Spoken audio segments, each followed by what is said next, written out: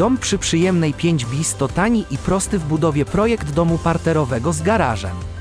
Powierzchnia użytkowa 82 metry pozwala zmieścić ciekawy program funkcjonalny, na który składają się cztery pokoje, kuchnia ze spiżarnią, łazienka i pralnia.